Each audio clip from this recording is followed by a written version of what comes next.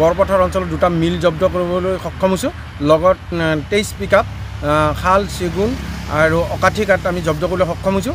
আৰু আজি ৰাতিপুৱা অভিযান চলাই আমি টাঙাবাৰী অঞ্চলৰ পৰা এঘাৰ পিক আপ শাল চেগুন আৰু অকাঠি কাঠ জব্দ কৰিবলৈ সক্ষম হৈছোঁ। ইয়াৰ বজাৰ মূল্য দহৰ পৰা বাৰ লাখ টকা হ'ব। আমি কৈছোঁ আমাৰ যথেষ্ট কম সংখ্যক কৰ্মচাৰী দি আমাৰ অফিচ চলি আছে আৰু এইখিনি সময়ত হাতীৰ উৎপাত দেখিছে। আমি সদায় সন্ধিয়া পৰা গোটেই ৰাতি হাতী পহৰা দিব লগা হয়। তাৰ উপৰিঞ্চি আমাৰ গছৰ জংঘল আছে ইয়াত বহুত কেইখন ৰিজাৰ্ভ পি আৰ এফ আছে এইবিলাকত আমি পহৰা দিব লাগে সেইখিনি সময়তে এই দুৰ্বৃত্তই চোৰাংভাৱে চোৰাংভাৱে মজুত কৰিছিলে।